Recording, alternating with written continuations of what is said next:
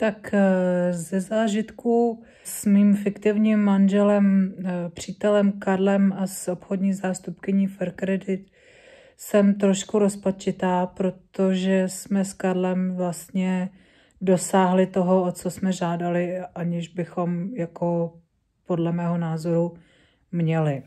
2, 4, 6, 8, 10, 12, 14, 16, no. 18, 20.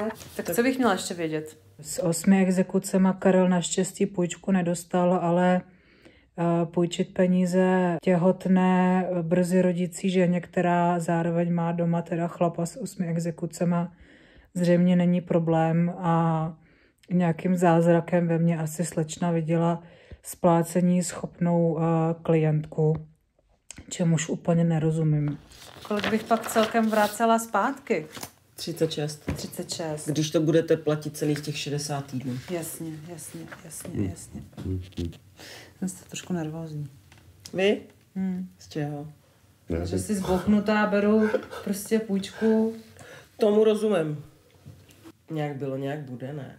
Ale A jo. prachy budou, my nebudem. A doufala jsem teda, že v tomto stavu to půjde spíš za, za, za, za, za, za Karličkem. Rozumím. Vystupování měla velmi milé a přátelské, připadala jsem si jako její kámoška a o to horší to celý asi bylo, protože věřím, že je kámoška do doby, než eh, se jí vrací ty uh, měsíční splátky a pak uh, může jako být zlé, si dovedu dost dobře představit.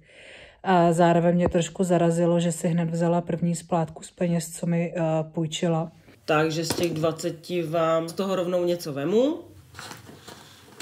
A já vám dám takto litra a vezmu si čtyři. No boží. No to no. Předpokládám, že když lidi se dostanou do stavu, kdy tuhle tu půjčku od uh, společnosti typu Fair Credit potřebují, tak uh, ty peníze asi skutečně potřebují.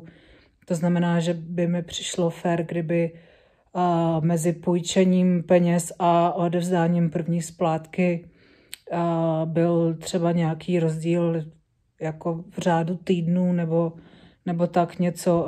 My jsme si vlastně půjčili 20 a když se za slečnou zavřely dveře, měli jsme na stole 17.